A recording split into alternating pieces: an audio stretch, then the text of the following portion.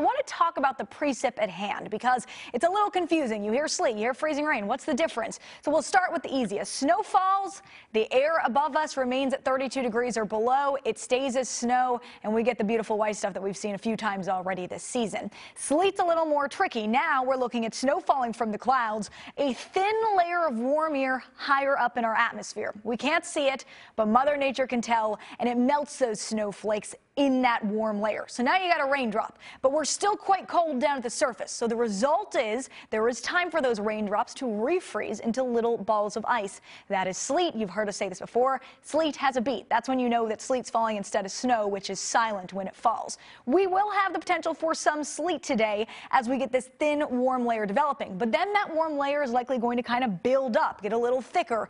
And the result is that we start talking about freezing rain. So now the snow comes from our clouds and enters enters that warm, thick layer.